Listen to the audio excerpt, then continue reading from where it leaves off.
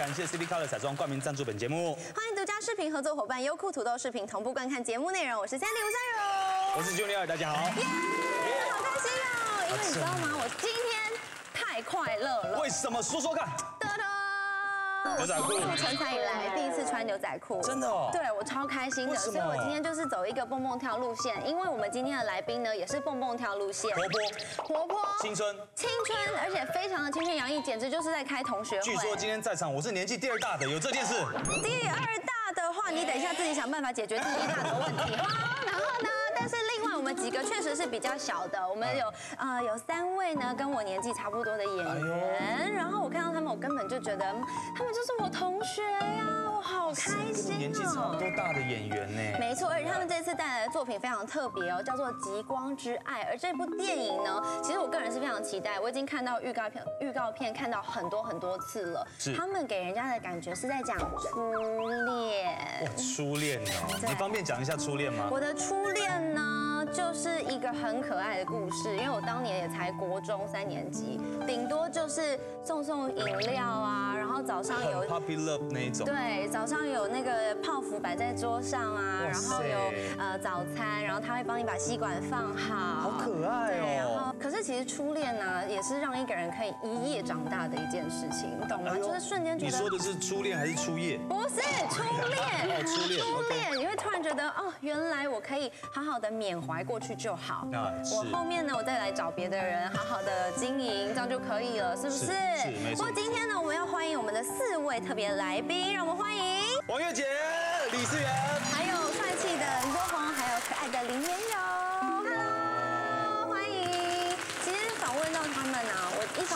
除了刚刚讲的很紧张、很兴奋之外，看到月姐啊，我就觉得哦，根本就是像看到妈妈一样，是对不对？从小就其实对舞台剧来说嗯。啊，你有一个像妈妈的角色在那个片场，在那个剧团里面，是不是很温暖？三位演员啊啊啊，Hello，嗨，已经分心了，嗨，是不是妈妈在场的感觉？我觉得不只是温暖呢，因为月姐在的地方其实都是非常热闹的，对，是很火热的那种感觉。我嗓门大嘛，对。而且我在里面是第一大佬。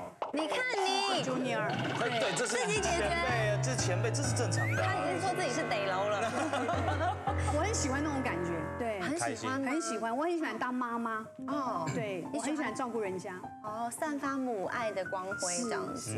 对，因为其实今天访问这其实是两位演员，还有一位其实李思源他是当导演来着。这么年轻当导演，对，而且重点是演员林柏宏比比他年纪还大一点点，哦，这个有点对会不会有点难驾驭啊？基本上同年龄都难驾驭。还会不会觉得，哎，我为什么要听你的？然后你你还小我两岁我，很专业啊，我觉得非常非常专业。我觉得导演很专业啊，我喜欢。对，因为导演第一次第一次当导演，然后他其实在现场他非常知道什么，其实从排戏，甚至从第一次见面就可以感受到他对这个戏有非常完整的想法，嗯然后每一个角色每一场戏他都很清楚知道他要表达什么。嗯，那我们请月姐先跟我们讲一下，到底《极光之爱》除了除了初恋之外，它是在讲一个什么样子的故事？我我觉得他就是一个母亲跟女儿两代，我们有设了一九九零年，就是你们出生的那一年，出生那一年是，所以你们多重要啊！好重要一九九零年到二十四年后的二零一四年的现在，那母亲呢，就是呃林妍柔。林没想到吧演妈？妈，她演妈妈，你演妈妈演杨丞琳的妈妈的年轻的时候。哦哦，妈妈小时候年轻的时所以候，呢，年轻的那种初恋，就是所谓天旋地转，跟林柏宏的初恋，就是在他们的身上发生了。哦，对，后来呢后来他们也是一夕之间长大了，所以呢，就生下了女儿杨丞琳。哦，他那是是真正的一夕之间长大。然后因为整个电影呃是我们改编自李国修老师的经典作品，那老师那时候写的是三代的初恋传奇，是历经半个世纪。所以是从舞台剧改编成电影的。那这也是我接下来呃，其实我们剧团现在是暂停营运的，就屏风表演班。是然后因为我希望我在有生之年可以先把老师这么多的嗯经典作品呢，能够把它拍成电影，用电影的方式让更多全球的人都可以看得见。哎真的，因为其实我觉得电影是无国界的东西，你只要语言可以翻译，大家看到那个影像，那就是一种印记。它是可以推出去的。对啊，因为太难得了，国修老师的东西是完全是跟现这个时代有关的，然后也是很浓的一个人情的故事。那我觉得这些都是很值得我们推广出去的。所以李思源他其实有经过大量的改编，然后他后来呢，其实只保留了呃国修老师原著剧本的页面台词百分之十而已。这么少啊，但是所有看过人都说精神竟然完全一样。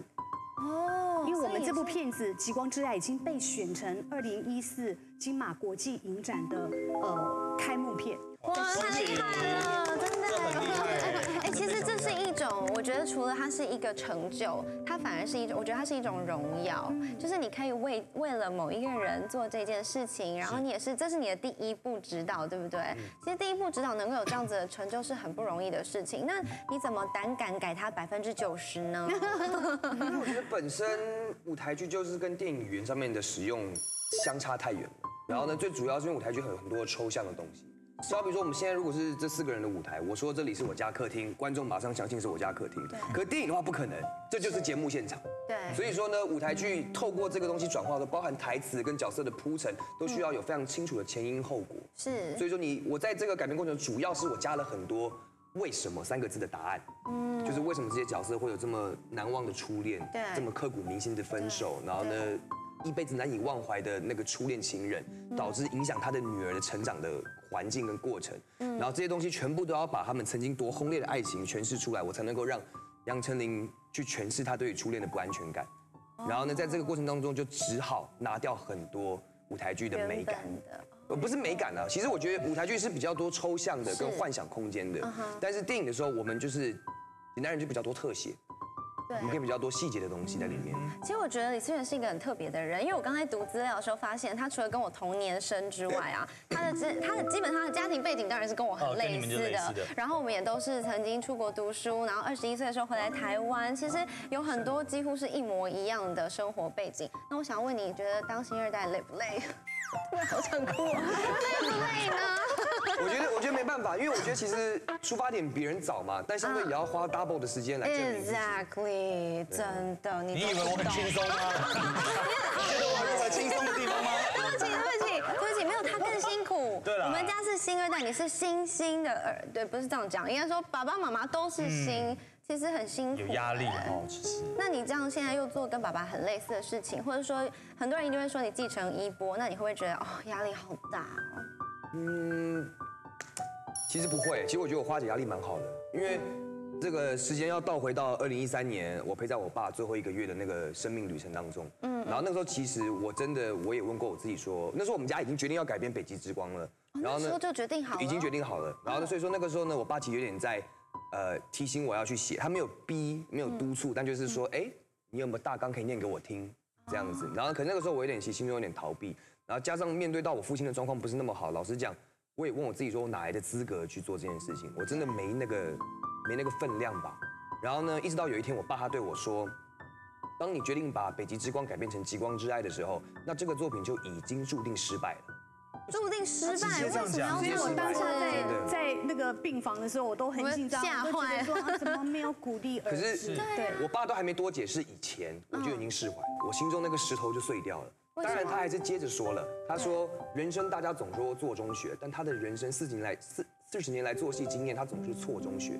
他认为犯错之中学习最多，而且你保持着犯错的心情去做，你就能够享受那个当下，你就能够突破今天的障碍，做明天的成长。而最主要的是，也是我们讲这个电影圈、演艺圈都一样，那个得失心。对一旦失去了那个得失心，我们就能够做更好的创作，我们就能够更挖掘自己内心的深处，而不是在乎如何去达到观众的期望，而是反过来问自己说，人心跟人性我能够挖掘的多深？那除了做导演之外，你有没有想过要当购物专家？他推荐超好，掉哦，时间快你有到了。卖有卖得失心吗？很想跟他买。好想买推荐的得。超好的，我收购我收购你真的，你平常是为怎么练习？你自己讲话可以讲的这么快？而且有吗真对啊，好快，在他身上，我觉得完全就是看到国修老师的影子的速度跟口条。长得跟月姐很像，对不对？可是她的整个精神是国对修老师。竟然那个 tempo 模都一样。李思源，他常常会有一个很可爱的放空的那我觉得个表情，他好像很可爱。活在这个空间里面的每个地方在看的感觉对，你在观察什么吗没？有我在看那 monitor 比较大，这样看比较清楚。非常好。那我想问你，你觉得《极光之爱》对你来说，你你在其中体验了什么，你才能够表现给大家？你谈了一场恋爱吗？我我那个时候写了一个小小的散文，有点像是作者的理念嘛，就是让我自己能够以防万一我在创作的过程中走失了，嗯，所以说我写了一个小散文的标题叫做《我的初恋们》。然后可是我觉得不管怎么说啦，在怎么怎么样的爱情故事当中，我永远有一个共通点，就是遗憾。当然所以我才发现，爱情，我的爱情就是付出、牺牲、陪伴，然后遗憾。可是这样，我们再回到主题，初恋呢？我还来不及学会付出，来不及学会牺牲跟陪伴，那我觉得初恋它就只是遗憾。是。所以这就是这部作品想说的，初恋的存在就是为了遗憾。嗯哇，很深刻，很深哦，他这个不知道在家里面写稿子写了多久，但 我相信他是一个非常有想法的年轻人。那请问一下，你在选找的时候，是因为我们颜柔长得很漂亮，像你的初恋吗？颜柔哦，来，颜柔，你讲一下我们认识颜柔还没。有说话，跟大家打个招呼吧。大家好，我是颜柔。嗯、我我跟呃我会拍这部片是因为我一年前一年多前，然后参加了一个电影的选角，那个时候是听见下雨的声音，然后对，然后月姐就有担任里面的评审，然后当时因为就是呃反正后面没有选到我，大家。剧组里面的人可能都不是那么看好我，但是月姐她就一直很喜欢我，然后就过了一年多后，我突然接到一通屏风的电话，要我去试镜。嗯，对，然后当下其实是蛮蛮蛮惊讶的，怎么会月姐还记得我？因为那时候他已经进入不知道是十四强还是几强，然最后我海选整个评审之中，我还是就只就是特别喜欢就只能他。他。为什么可是因为我觉得他就是那个，她就是属于电影里面的那个女主角，会让我们魂萦梦牵的。因为她跟现在的韩流或者是欧美款比较不一样，然后其实她会有一个不是欧美款的我们心里头的一个一个一个想象。嗯我觉得那个东西是很扎实的。嗯然后可是可是没有关系，还好他没有去做那个女主角。然后后来我就呃，因为我拿回来演刚刚讲过，这是母女两代的初恋故事嘛对。然后后来妈妈我们决定要拆成两个人演。哦，所以呢，二十四年后是季晴，其实季晴早就是我们屏风表演班的屏风一姐，她已经可以在舞台剧里面演国秀老师的妈妈，全程用山东话演，非常好了。但是就像 Junior，你现在也在呃走表演的这条嗯路，就是我们等的都是一个好剧本。那相同的，只要我今天提供一个剧本，其实这些优秀演员通通会上来。对然后我也觉得我我非常高兴跟庆幸是说，《极光之爱》里面我们就是看到了许久以来华语影坛所少见的，就是让电影回到故事和表演。所以呢，它就是有一个非常动人、结构完整的故事，是而且每一个东西都很磅礴。嗯，然后再加上我觉得是台湾人对国修老师的爱，所以我也很希望说，呃，就像刚刚思源讲到的，当爸爸跟他讲说你要决定改变，已经注定失败了。对他一方面不要让他，因为我们人有得失心，是因为想要成功。对其实那个东西是多余的。所以爸爸其实是变相的在打预防针。对，然后再来，他最后有压一句话，国修老师压了一句话，到底国修老师讲了哪句话让王月耿耿于怀呢？广告之后马上回来。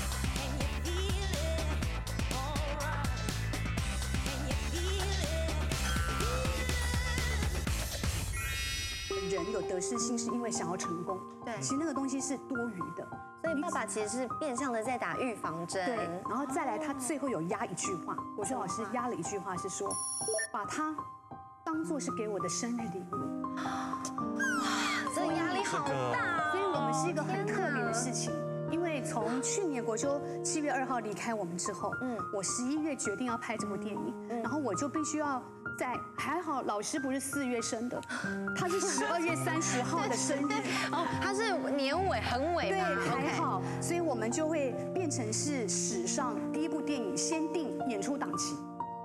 我们先定好说一定要在十二月三十号以前上映，那这不是是很压迫吗？困难的所以他们所有的演员都是在大热天穿着羽绒衣，尤其博宏是演到那种要到阿拉斯加的，在那边巡逻应该有买很多痱子粉吧对，有应该有吧，汗疹都有了吧？就是一咔就所有衣服都马上脱下来。太对。热太热了。所以呃，我们等于是完全是没有想到一切有如神助，所有的呃电影一流的专业人才，不管是摄影、音乐、美术，全部都是大师级的过来，剪接等等，然后再加上呃，包括有杨丞琳、佑胜、李运庆、魏曼，还有新人，他们表现都非常好。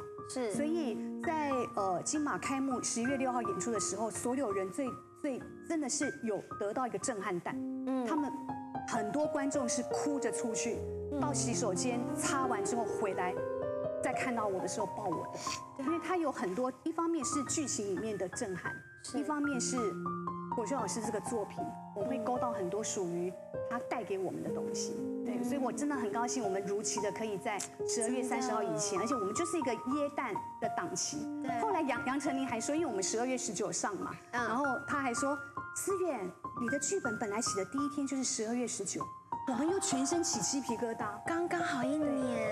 就刚刚好。那其实真的时间非常的压缩哎，才一年能够写完，然后拍完、剪完，然后上档给大家看。而且表现的这么好，是，哇塞！我觉得我现在整个人觉得 非常紧感动，张。我觉得非常好。嗯其实我觉得会不会在你们在拍这个电影的过程里面，包括到你看电影的播出的时候，都会觉得好像国修老师一直在，或者是会你在看剧本的时候，会不会一直投射到自己跟国修老师之间的很多的过去的回忆跟很多事情？会，而且嗯，像我们我们在电影里头有一个男女情侣打招呼的动作，就是发生在博宏跟颜柔身上。博宏，你可以讲一下。对，在九零年代的时候，我们这个小情侣之间有一个默契，他现在自己很害羞，我觉得很好玩。对，他，表现的好好，就是每次女生在等男生的时候，她就会做这个动作，就在看他。对对，然后男生看到女生就会心痛他，喜欢到心痛。对，就是有时候我们喜欢一个人，我们会有一种很身体上、心心里面会有一种揪一下那个感觉。嗯，对，我想大家应该在在恋爱的时候都会有一种哇，我对这个人好好有感觉，可能是心跳会加速，可能是会紧张，然后他就说我看他做这个动作的时候都会好心痛，所以他们两个人就会有一个这样子的默契。那还好你的初恋不是孙悟空。反过来，心脏都一直很痛。然后其实这个是我跟国修老师在谈恋爱的时候，然后因为他那时候很喜欢抹绿油精，就是一种清凉剂。对对对然后他抹的时候，他就抹了之后手上还有一点点，他就会拿来抹在我的人中。嗯嗯。然后我就会像一个皮卡丘一样，我就会这样。嗯，这样子，然后他就帮我再把它抹完，对，然后所以他一手一过来，我就，哦，然后他有一天就跟我讲说，嗯，我们那时候在广广州度蜜月，他就跟我讲说，这是我最喜欢你的排行榜第一名的动作。因为这是你们之间的默契。对，然后他说他那个东西，他看到我这个样子，他心都会喜欢到抽痛一下。然后因为他是个山羊座，很不浪漫，所以他讲这件事情，我已经感动到不行，已经泪流满面了。是后来，这是国修老师二十七部经典作品里面唯一的一部纯爱电纯爱作品，对谈纯爱这件事情。然后所以呃，当思源选择了他来做他的第一部的编导的电影作品。然后呃，其实，在老师的原著里面，就把这个我们的动作变成在呃舞台剧里面就有了，然后只是思源继续的保留用在电影，因为我觉得情侣之间一定有很多暗号，对，太浪漫了。其实我才刚读一个呃一个报道，科学家证实的，就是为什么我们看到一个可爱的东西，我很喜欢，你会心痛，因为它的可爱的程度跟你爱它的程度已经超过你的生理能够负担的程度。Oh my，所以心脏会真实的觉得对，所以你看到小 baby 很可爱，你会想咬，因为你的心里在找一个出口来排解你不能承受的心理情绪。对，这是很感人的一件事情，非常合理。所以我看到我看到那种很可爱的 baby，我想要打他，是你想要咬 打比较不好，对打打比较不好打比较不好，对不对？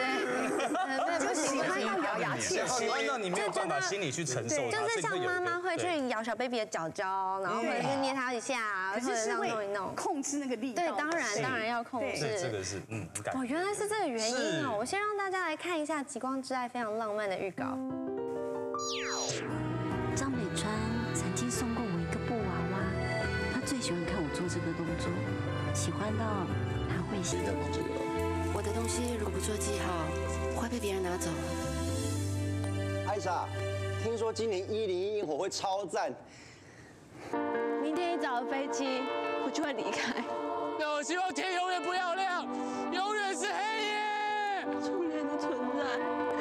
我终于明白永夜是什么意思了，其实就是永远的思念。哦，你看，你看啦，它里面很多非常的经典的呐喊、怒吼的情绪的抒发，在我觉得很好奇，你们两个有没有爱上彼此啊？有，好有，谢谢。我有，我有。很有，很有很有这个关系好复杂哦。只要只要月姐能够接受，这都成立。其实三位三位都是年轻的年轻人，然后大家一起工作，一定会有感情产生，不管是友情也好，真实的男女之间的感情也好。是但是他们两个在电影上面给人家真的真的会相信他们就是在谈恋爱你。会相信初恋这件事情的感觉？就是那个感觉其实是非常浓烈的。嗯，那一方面是它也有年代，那我觉得一九九零这个年代对我们来说，其实一开始你会去想象那个差别是什么，但是我会觉得那个是一个你把爱情看成你生命中最重要的一件事情。嗯，那你好像在那个初恋里面，你也就相信了它可以是一辈子。对，颜柔呢？有没有不小心爱上旁边这位小帅哥？嗯，其实已经在交往好了，没关系，没关系。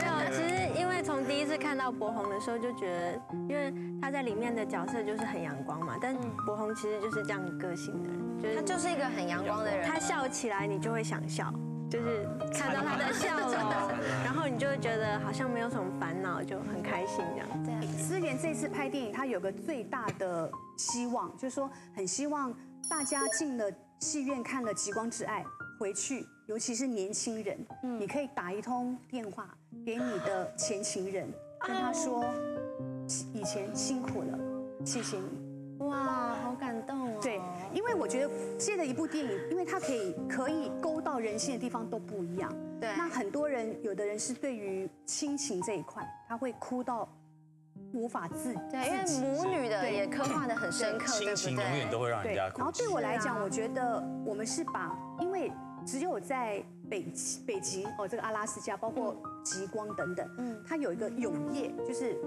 一年有几个月没有天，好像是半年嘛。对，没有天亮，只有黑夜。对，那这个事情其实，呃，思源创造了一个北极光很凄美的传说，然后也更扩大了所谓永夜其实是一个永远的思念，所以它又有传说故事来贯穿母女两代，对。然后又每个人遇到不同的爱情，他们的炙热，他们的付出，嗯，他们的从里头的再度站起来，我觉得这些都会让所有观众会勾起自己很多的过去，是因为这就是其实我们的目的。对，其实我是在西雅图读书嘛。其实我们从那边可以搭船直接上去 Alaska，然后可以再往北极那边去，然后可以看到极光。可是我一直以来都没有机会去，但是就我要读书，但是我一直很想要问，因为刚刚我不小心听到他们讲说博宏是很聪明的聪明人，然后听说他可以解释给大家听。那个电太复杂，反正我们就剪掉。比如说这个 大家比较懂，这个应该是个无限大，对不对对？是 infinity 有关吗？化学？它其实不是无限大的，不是，是其实其实只是一个八而已。漏斗啊，就我们电呃，我们我们那个原子哦，嗯，它外面都会有电子在跑来跑去，对它电子产生比较大的移动的时候，它就会发光。对，那为什么极光会有很多不一样的颜色？就是电子从 A 点到 B 点会有会有可能红色，从 A 点到 C 点又有绿色，就是会有各式各样颜色，是它跑的位置不同。然后极有没有一个圈圈，跟旁边那个无限大的符号？对，那两个就是圆那个电子，有时候是跑圈圈的，有时候是跑八字形的。OK，所以我就觉得，哎，我们的海报很有很有科学的启很示在聪里面。明，很聪明的海报。哦，原来是因为这这个样。最重要，discovery 这个最重要。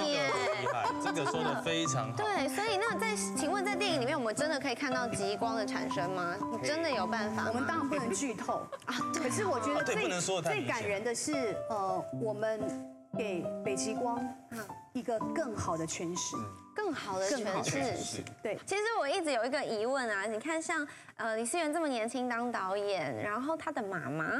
月姐竟然是监制，这实在太拉扯的关系了。一个一直在烧钱的儿子，跟一个一直想收回来，可是又希望儿子可以成龙的妈妈，这是这是很容易要么就是吵架，不然就超出预算。对。我觉得钱这件事情真的不用担心，我是一个非常愿意为钱低头的导演。你低了什么头呢？你去哪里低没有，了就是因为？我父亲一直以来都常常会灌输一个灌，不是灌输啦，就是他他会他认为做戏这件事啊，艺术本身跟金钱无关。他认为就是多少钱说多少故事，这个是创作者的工作。这很难吧？很多故事大于你的钱的时候怎么办呢？如果你想要的场那景，那当然，那个就是有，当然有不同的说法啦，有不同的说法。可是就是我以我父亲教导的方式呢，他会比较希望我不要去因为少了几笔钱，然后呢去做一个桥段，然后可能不一定会受大家的呃关注。哦，就是其实有一个艺术家的执念。国修老师希望是说，你把故事说好，呃，不要说我的故事一定要怎么样怎么样，一个大场面什么，结果你大场面搞了半天，你一点都不真挚，一点都不感人。嗯，其实它主要的是都是要描写角色到底发生的事事。对对。那李思源，我想问一下，你知道，因为其实我们访问过很多的导演，导演通常都有细胞，而且他们那个戏影是卡不卡在那里出很不去的很多导演自。己还要在戏里面嘎一脚，就是爱对演。，你看像豆导，对不对？像是蔡岳勋蔡导，他也是，然后曲友宁曲导也是啊，一个不小心就会看到，哎，怎么是你这样？那请问你本身对演戏这件事情的看法是？你超想演，那你演的好不好？我不知道啊，我想我想要赌一很好，是。好吗？不要骗他。所以到底是怎么样？到底你觉得自己演的好不好？我我不知道啊，可是我就很想试看看啊，因为我觉得其实本来当编导就不是我个人单独的啦。然后呢，我的意思就是说，我想要我想要成为我父亲那样子的人，所以说我会想要试试看编导演。OK，那我们直接来看一下我们可爱的李思源，有记录有记录他演戏哦。什么东西？哇塞！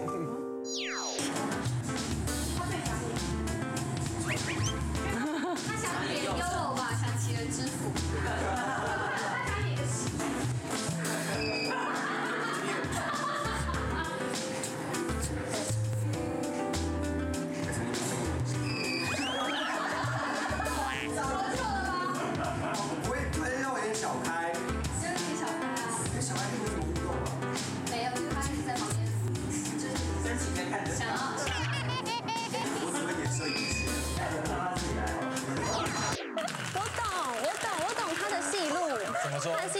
僵硬派，就是他上去，他就会整个人呈现一个停住的状态没。有，我其实我只有两种，就是一个僵硬，一个是搞笑啦。我最想要演喜剧了。没有没有，我们可是现场怎么样他他示范很多我们两个人的亲密戏耶。真的示范一下，拜托。一个桥段，国豪快点啦，你跟思源一起啦。我跟我跟导演吗？当然啦。为什么要挖洞给他有他有示范哦，我都以为他演不出来。哪一段哪一段亲密？请问你们亲密到什么程度？到底李思源在片场做出哪些亲密动作呢？广告之后马上回来。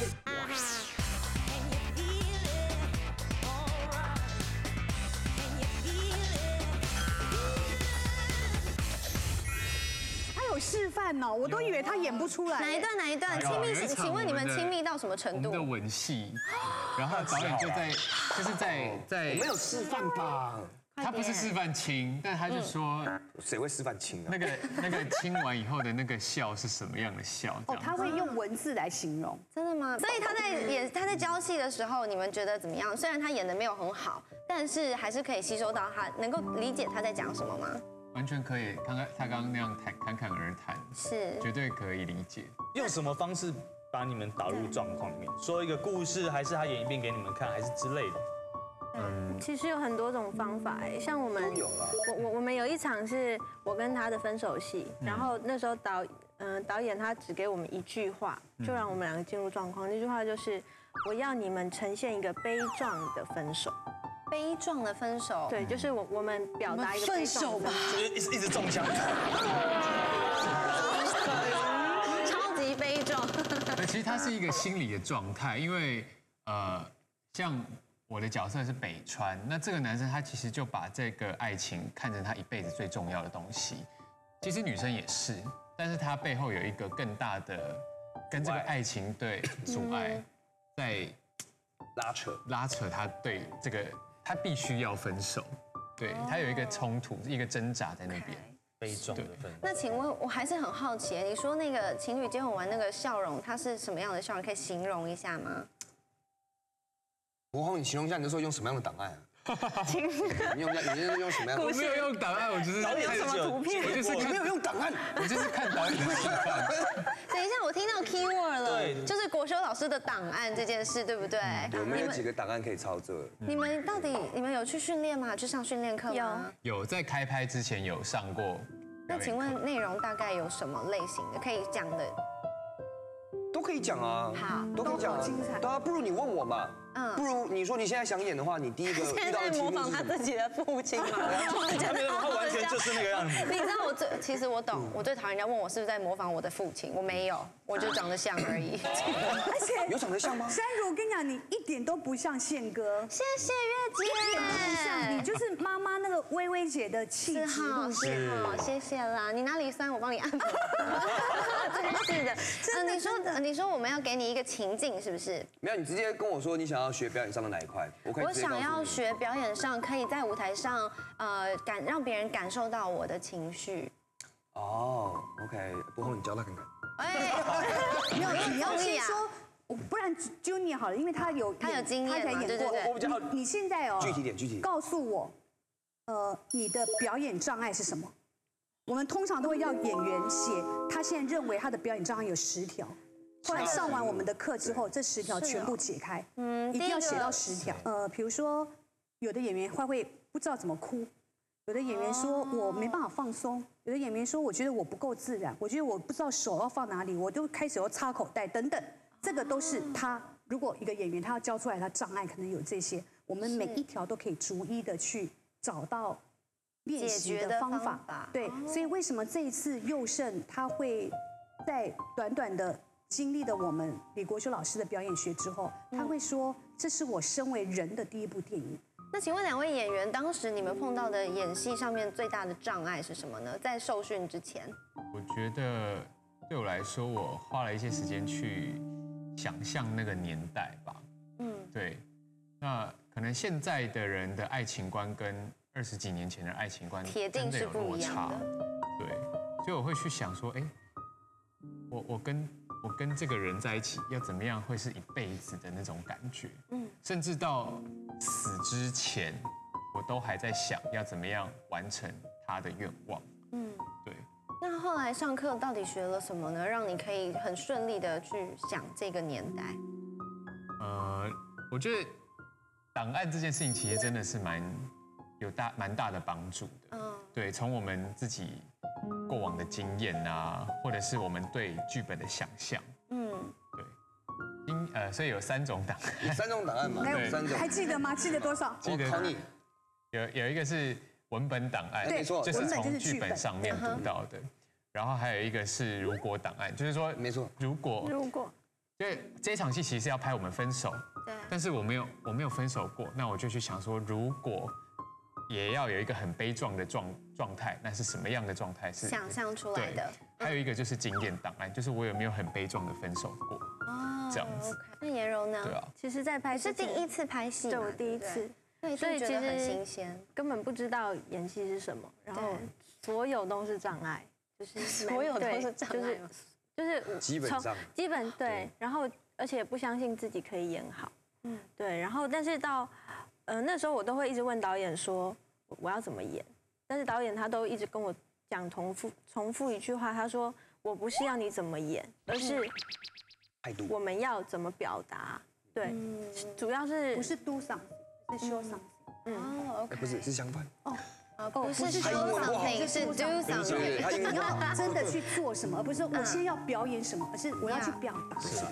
其实我觉得我们平分表演，呃，我我父亲的表演学，他最浓缩的一句话就是，演员面对生活的态度，就是他面对角色的态度。而这句话你们现在听起来有点遥远，但其实真正了解的人，他真的是精简中的精简。最主要是什么？我们回到自己的过去，我们就能够套用在角色的过去。例如说，我父母是跟你一样星二代，所以可是今天我要演的是黑社会儿子，我把那样子的压力跟沉重套用在黑社会儿子上面，黑二代，对我就能够去做。很棒，对，我就能去做这个联想跟这个连接。是我要怎么面对我的父亲这个角色？可能饰演我父亲的是 Junior 哥，然后我就会，我就我就可能会面对郭旭老师跟面对他的有一种尊敬，我把这个套用进来。嗯，然后呢，这个时候这个过程中，为什么我们刚回到面对生活的态度哦？因为如果你隔绝自己的记忆跟你的观察力，你就会隔绝你的回忆，那些东西你就不能再套用了，你就无法打开那个 x 等于 y z 等于 a 的那种那那那种公式性。是所以说，我们越去珍惜跟热情自己的生活，我们就能够看得见自己越多的过去。我们很多人看不见自己过去啊，嗯，我们的过去是会遗忘、被封闭的，会被删除的。我们如果不静下心来面对自己，是看不见自己的障碍、缺点，还有我们的心魔的。所以说，我们当然面对这些时候，我们就能够套用在角色身上。确实，你讲的都是是句句属实啦。但是呢，我觉得还是要先观众朋友让他们看一下，我们现在《极光之爱》它其实是有剧场版的，叫《北极之光》，先大家看一下 VCR。曾经，我失去了一个最爱的人，我不能再，不能再失去你。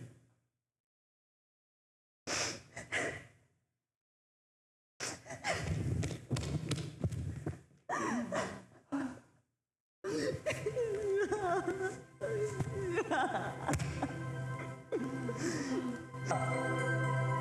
看。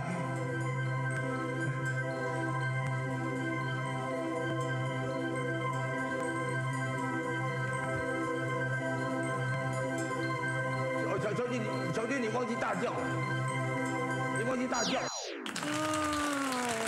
可是你在写这个剧本的时候，会不会觉得好像多了解了自己的爸爸一点？有有很多，因为其实我有一个东西，像我刚刚说的那些档案的东西嘛，呃，我要写个母女嘛，所以说那个母女之间的互相影响，我必须回到我自己身为李思源被他们这对夫妻影响的程度有多深，我要去挖掘跟探索自己爱情观因为父母而带来什么样的改变。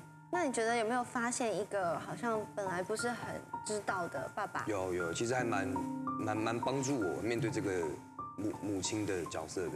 我我还蛮想问，就是到底是哪位神秘嘉宾来到现场？广告之后马上回来。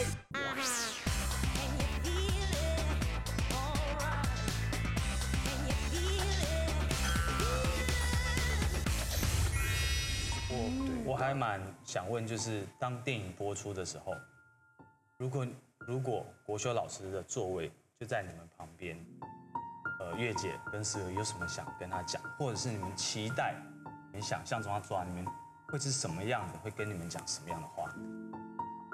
他应该应该会说，哎，不错、哦。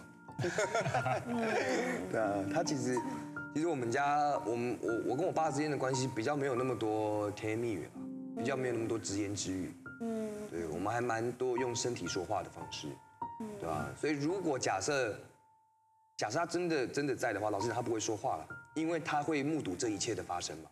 那他在这个过程当中，他就不会去计较有什么多余的台词。嗯我们剧本都知道啊，定义角色不是他的台词，是他的行为。嗯，那月姐呢？如果国秀老师看到这出戏，你觉得他会跟你说什么？我觉得他可能会很幽默，嗯，他会很幽默说，嗯，可能会说，可能会说林柏宏长得不像他吧。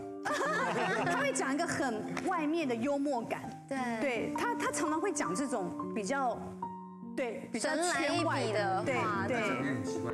是，那完成了这一部电影，觉得你接下来有什么打算吗？蛮想要把我父亲带领我们一家一家人面对他的死亡这件事情的过程写成一本书。哇！因为他其实他对人生很有哲学性，然后呢，他对于面对人生的态度其实不只有哲学以外，同时还带了很多表演艺术家的成分在里面。然后呢，这让我们面对死亡的感觉更加的正面，而且老实讲，是一种极极极强大的成长。可是其实他跟我同年，我们也才二十四岁，你就有办法去面对这一件事情，然后用很成熟的方式去处理它。那你会不会打算有没有可能，甚至把它拍成电影，或者说把它变成很传奇的一个故事？呃，传记型。我个人看我爸他这样做戏写剧本的顺序啊，我能够很清楚一点是导演自己的传记永远要留到人生后期的时候再去做。这边呢有一个 VCR，其实就是屏风的子弟兵们有很多祝福的话要说哦。中摆第一的，呃，我我不知道月姐这样讲 会不会不开心，但真的老师心目中摆第一的永远是观众。有一个现象，常常谢幕完之后，很多观众是坐在原来的位置上的，他在回忆着。他刚看完的这个戏，老师就是一直在传递这些东西，然后用一个很安静的谢幕方式，这也是老师的特点。资源也是个，我在他这他回来之后，我跟他聊天，我觉得他真的变成一个依然保持着他的源与旺盛的创作力，然后很鬼灵精怪的想到一些很可爱的想法，但是。也因为老师的这件事情，我觉得他瞬间一夜之间长大了好多好多，所以我相信他在这个戏从前期开始改编到后期的拍摄的处理，一定都能够非常非常让老师以他为荣，让这个戏非常非常圆满。所以我觉得看到这个戏，一定也能够看到老师他对观众的爱，也能够看到他对我们的爱。他可以。心无旁骛的说干就干，呃，完全没有制作过电影、拍摄过电影经验。最后，我把我很多啊，呃，没有办法用言语表达的感动跟祝福，呃，化为一句话：你们往后的电影之路啊，就如同这个片子一样发光发热，让人家持续注目。呃，每次看到就是国修老师跟呃月姐之间的相处很有趣。因为月姐就是非常崇拜老师，然后他们两个人就是，尤其是月姐每次跟老师在讲话的时候，都会出现很多的娃娃音。她说他好帅哟，然后他好棒。生活上面的一些处事态度，他其实是比较重视。老师曾经跟我们说过，就是是你在演喜剧的时候，千万不要把它当做是喜剧在表现，你要把它当做是一个很诚恳、很真实的一部戏。所以我当时在演《拜你长城》的时候，老师语重心长把我拉了旁边去，跟我说：“阿爸，不要搞笑。他是一个角色的控制，他是一个演员，他碰到了很大很大的问题，他在做很大的处理跟解决。”我相信，其实国修老师在嗯。在教其他人演戏的时候，他除了在教导人之外，他确实在燃烧自己的生命，他才有办法让别人看见，让每一个人对他都是甘拜下风的。那我觉得，呃，我很想问的是，月姐，你有没有什么话要跟他说？因为接下来他在十二月的时候可以看见这部电影，那看了这部电影，你会想跟他说什么？你会跟他说？我们的儿子很棒呢，还是说，看你你你儿子比你还厉害？你觉得你会跟他说什么？我原本想说，我来这种年轻人的节目，不要不要讲到这一块，一直忍一直忍。可是真的很谢谢这么优秀的屏风的子弟兵。是，国秀老师他会因为培养一个演员出来而骄傲，他不会为自己做的一个这么好的作品骄傲过，他从来没有。那他很他乐为人师。那呃，其实，在国修老师亲自带领我们这么深刻的生命教育，真的让我感受到，原来死亡真的是生命的一部分。中国人老早讲了，他们从不称死者，都说是往生者。对，真的是到另外一个境界去了。我们也相信国修老师真的在另外一个世界继续的开门上台演戏。嗯，那。我一直觉得我的子女很优秀，他们都是我的老师。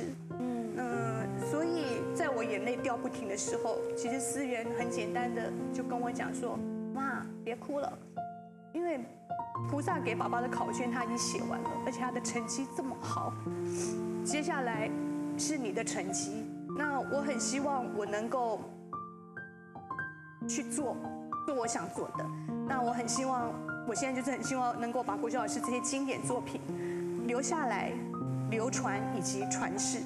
我希望能够带给更多人正面的力量，因为他曾经在舞台剧这么一个小舞台，他感动了这一些人。我希望那个力量是更大的。那因为就像电影里面一代宗师宫二说的一句话，嗯，他相信世间的重逢都是久别，世间的相遇对都是久别重逢，所以我也在等待跟国学老师的再次相遇。哇，我觉得其实那句开门上台演戏就已经讲完了国秀老师的他的座右铭，他的宗旨。那我觉得其实月姐你不用担心，因为我们年轻人的节目呢就是要这样哭哭啼啼、嘻嘻哈哈的，全部都混在一起才够真诚，才够热血。所以呢，我相信到时候呢，你们也可以一起。再初恋一次，然后再一起看极光，那就像我们会一起去电影院观赏这一部《极光之爱》一样，感受到两代之间的感情，感受到很单纯的恋爱，然后他再一次好好的被感动。那当然也要谢谢思源把这么棒的舞台剧改编成一个不一样的世界。谢谢三位，也谢谢月姐带着三位一起来到我们的节目，谢谢各位，谢